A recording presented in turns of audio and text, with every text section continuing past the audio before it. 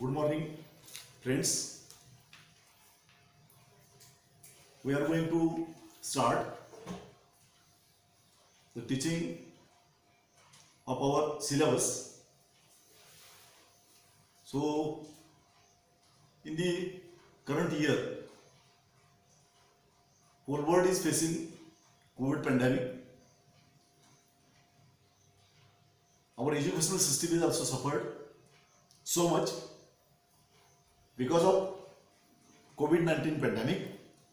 We are unable to start our classroom lectures.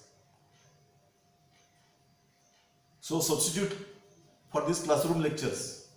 We have decided to start our lectures with the help of online teaching methods by using various online teaching tools and try to start our teaching of syllabus of each and every subject. So as far as syllabus of botany BSc part 2 is concerned, we are having two papers in this year, botany paper 5th and botany paper 6th. The title of botany paper 5th is Embryology of Angiosperm. In this paper number 5,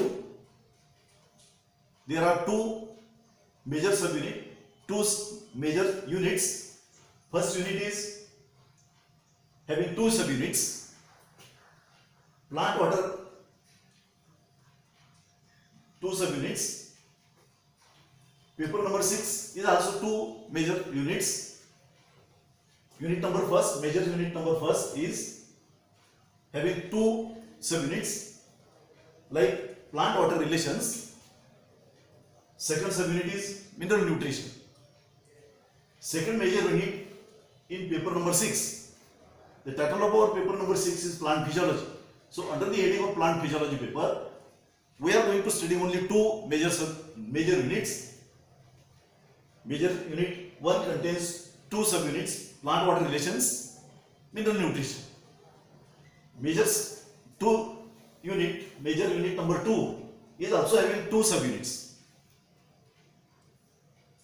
Photosynthesis is the first subunit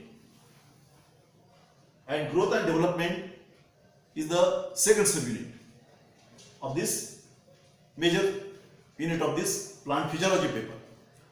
So today we are going to start the teaching of actual syllabus of this paper number 6 plant physiology paper. So I am going to start this growth and development topic from paper number 6. So we are going to study the different aspects of this growth and development topic with reference to introduction of this topic growth and development definition of this term growth then regions of the growth then phases of growth then grand period of growth so this is the half part of this topic, growth and development. The remaining part of this topic includes growth regulators, the study of phytohormones or growth hormones or they are also called as growth regulators. That means the reproductive growth is studied under the heading of phytohormones and so on. So we are going to start this growth and development topic one by one. I would like to discuss the some aspects of this topic growth and development. So as far as introduction of this topic is concerned, growth is an important character of all living organisms. That means it may be plant, it may be animal. All living organism shows the growth. So as far as plant growth is concerned, plant growth shows throughout their life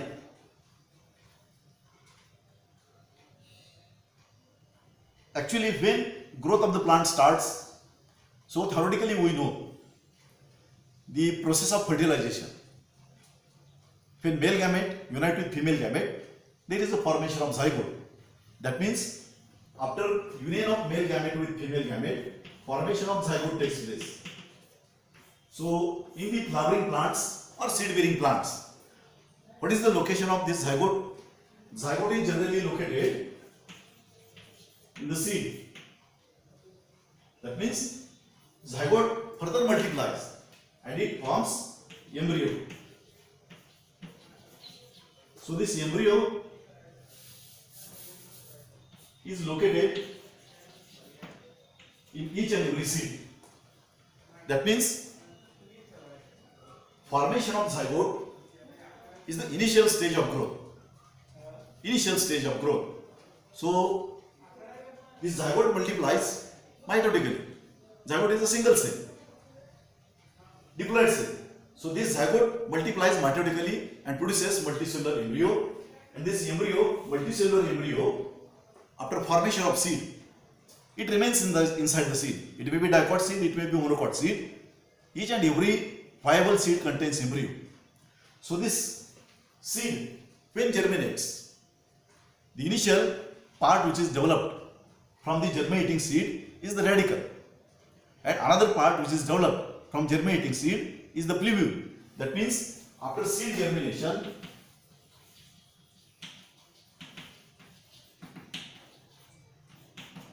seedling is developed.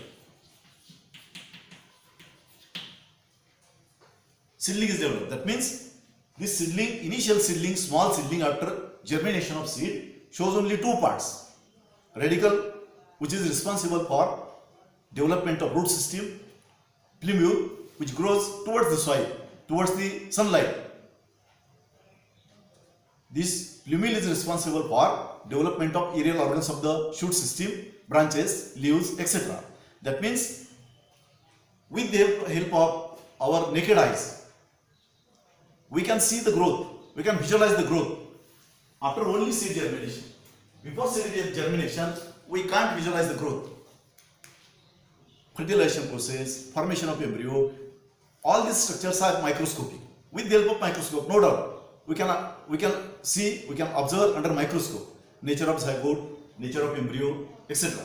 That means actual growth start from zygote and it continues throughout the life of plant.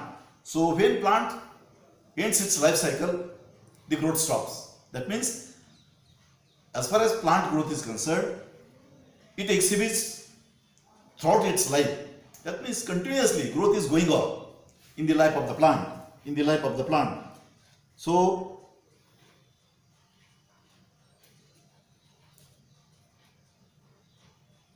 during the process of growth, many things are happening. That means cell division takes place, cell elongation or cell enlargement takes place, cell maturation takes place, as well as many physiological activities are going on. That means many histological changes are going on, physiological changes are going on. All these changes which takes place during the process of growth and all these whole processes which takes place during the process of growth constitutes the growth. That means as far as growth is concerned, growth is very complex process. It involves many things. That means initiation of radi- radicle, initiation of plumule, formation of root system, formation of shoot system, formation of or development of branches, development of leaves, formation of flowers or initiation of flowers, seed setting or formation of seeds in the fruits. So all these processes are involved in the growth process. That means growth is a very complex process. Growth is very complex process. So for our convenience, we can define this term growth. We can define this term growth. What is the meaning of this growth topic? Growth process. Growth process. So for our convenience, we can define this term growth. Growth can be defined as growth can be defined as irreversible increase in size, area, volume of single cell or organ or whole plant body which is accompanied with increase in dry weight. So increase in size and increase in dry weight these are the two important aspects of growth.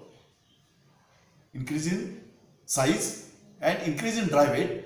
These are the two important aspects of growth. Then we shall see regions of growth.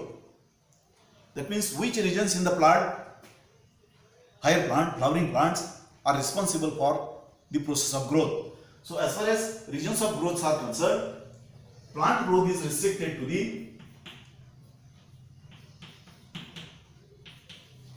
apical regions. So these apical regions of the plants commonly called as root apex and shoot apex. So this root apex and shoot apex of the plant contains meristematic tissue commonly called as meristems. So these meristems which are present at the apex of the shoot and apex of the root they are commonly called as apical meristems.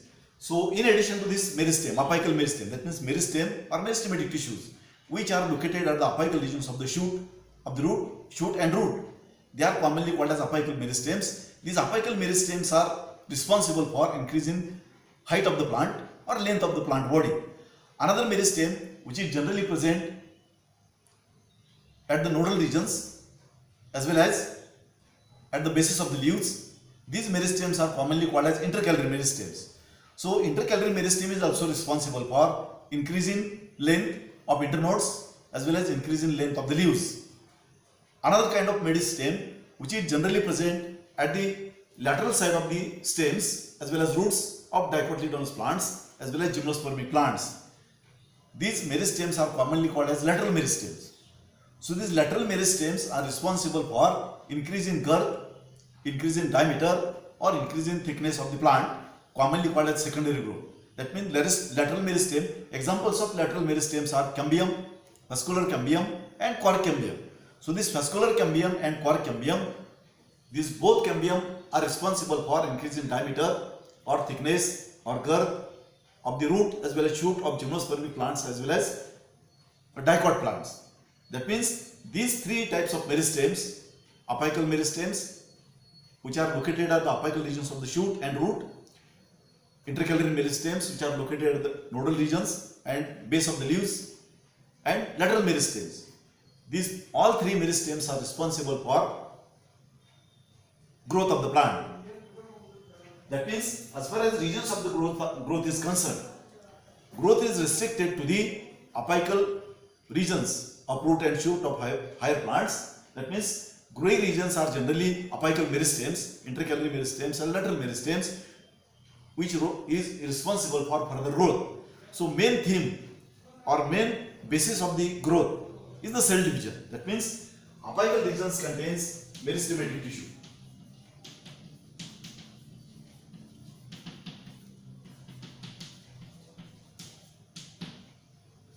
So each and every higher plant body contains two types of tissues, meristematic tissues and permanent tissues. So these meristematic tissues are special types of tissues which are present in the apical regions of the roots, shoots as well in as well as in uh, lateral meristems like cambium which are having ability to divide constantly and adds the new cells. That means after cell division process, these meristematic tissue cells adds the new cells.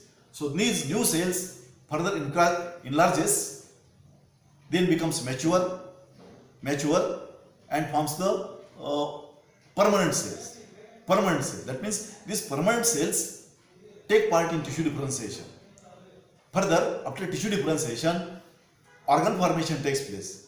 That means cell division, cell elongation, cell maturation, these three things are involved in the formation of mature cells. When cell becomes mature, these cells are involved in the formation of different tissues. The different tissues, they are involved in the formation of different organs like root system, shoot system, leaves, flowers, fruits, etc. That means the growing regions, basically meristematic tissues, are responsible for addition of the new tissues.